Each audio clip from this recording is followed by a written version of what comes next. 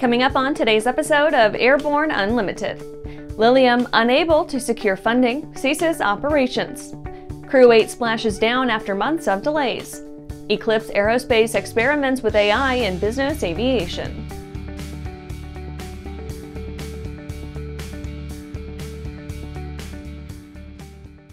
Welcome to Airborne Unlimited. I'm your host, Holland Lee. Let's get into today's stories. Lilium, unable to secure funding, ceases operations. In a move that seemed to come out of left field, Lilium announced it's on the verge of insolvency and has ceased operations. On October 24th, Lilium NV submitted a Form 6K filing to the SEC stating that its managing directors of its two operating subsidiaries, Lilium GmbH and Lilium E Aircraft GmbH, determined that they are over indebted and will be unable to pay existing liabilities within the next few days. Lilium said it had been notified that the Parliament of the Federal Republic of Germany would not approve a 50 million euro guarantee of a 100 million euro convertible loan. The Munich based company also has been in talks with the German Free State of Bavaria for a separate loan of 50 million euro, but have not reached an agreement in principle. Lilium has an order book for more than 100 of its Lilium jets, including an order of 100 units worth 1 billion euro by Saudi Arabia. Several units were also sold to Volair in the UK and had been in discussions with a Texas based brokerage company to bring the Lilium jet as the first ever air taxi sold in the US. However, a fire occurred in its first prototype during maintenance work in 2020, and the company paused testing on the second, newer model to determine what caused the accident. After the break, Wheels Up acquires Grandview and announces fleet transition.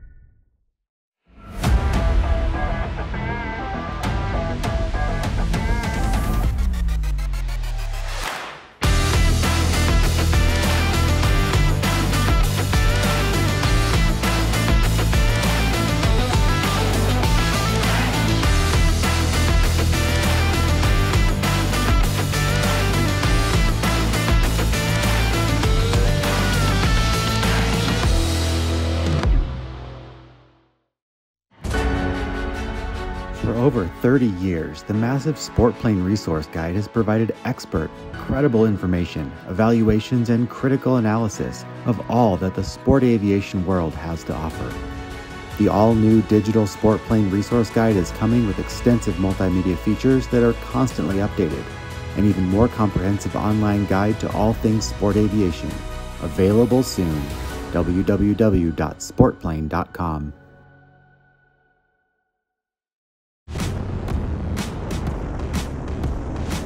Flying is my entire life. It's all that I've ever known.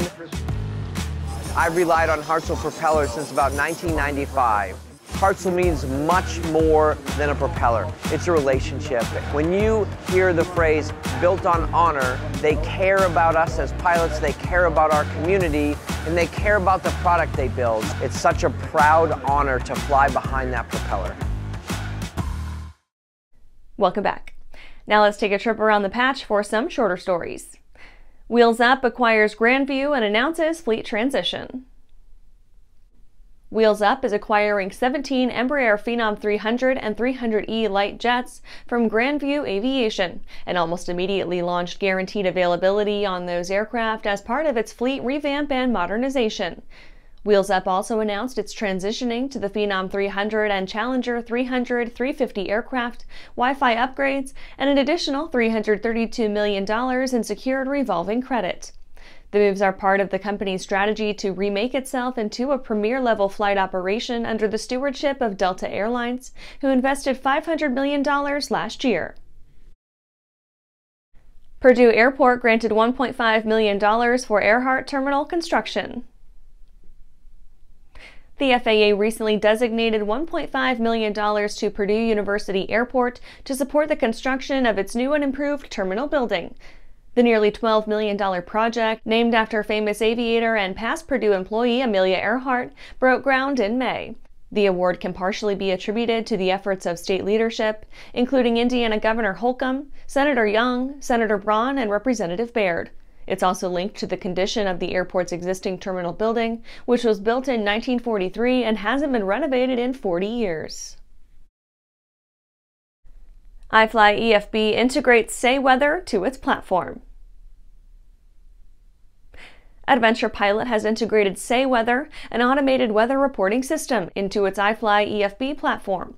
The integration is intended to bring enhanced situational awareness while promoting safety and efficiency for pilots. Say Weather offers weather advisories similar to automated weather observation systems for airports. The system uses calibrated weather data from on airport sensors to deliver clear and non distracting surface weather advisories to pilots. Pilots need only to key their mic four times to access the advisories. Daher releases seventh version of Me and My TBM app for owner-operators. Daher introduced the seventh version of the Me and My TBM app at the 2024 NBAA BACE in Las Vegas, Nevada. The app has been an excellent resource for owners and operators since 2018 by providing real-time flight tracking, data monitoring, and maintenance scheduling. One of the key improvements in this version is the merging of Me and My TBM with Daher's My TBM Docs application, which incorporates pilot information manuals, maintenance manuals, and more into a streamlined document management resource with usability across mobile devices and tablets. That's it for today's trip around the patch. Let's get back to the rest of the news. Crew 8 splashes down after months of delays. The four astronauts from NASA's SpaceX-based Crew 8 mission successfully returned to Earth at around 3.30 a.m. on October 25th. Their stay on the ISS lasted eight months, 55 days longer than originally planned. Crew 8 launched from Florida's Kennedy Space Center on March 3rd with NASA astronauts Matthew Dominick, Michael Barratt, and Jeanette Epps, along with Roscosmos cosmonaut Alexander Grebenkin. The mission was initially scheduled to last 180 days. However, due to technical issues with the Boeing Starliner capsule and the aftermath of Hurricane Milton, they were forced to stay 55 extra days. This marks a new record for SpaceX. The crew splashed down near Pensacola, Florida after they traveled almost 100 million miles across 3,760 orbits. The astronauts completed research and technology demonstrations regarding the use of stem cells for degenerative diseases, fuel temperature's impact on flammability, and how extended space days disturb immune functions. After landing, the crew was moved to Ascension Sacred Heart Pensacola to receive health evaluations, quote, out of an abundance of caution. One of the crew members reportedly experienced a medical issue and was forced to remain at Ascension for monitoring. The other three were released and made their way to the NASA Johnson Space Center in Houston. After these messages, Eclipse Aerospace experiments with AI in business aviation. The legendary BD4C program is building an exciting future for those who want a rugged four seat family flyer with a proven history.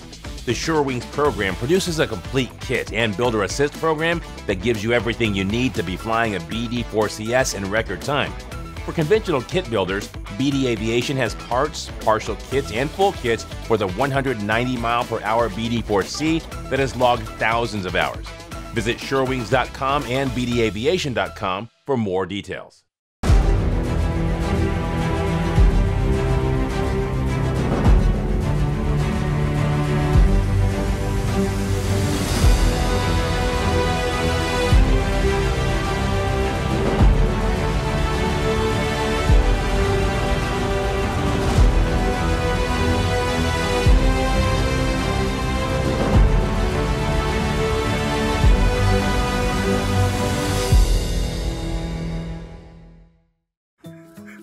Fellow pilot. I'm John King. And I'm Martha King. You know, we've all had our flying lives disrupted lately. Well, King Schools is here to help you stay up to date with courses that you can access on your desktop, iPad, or iPhone.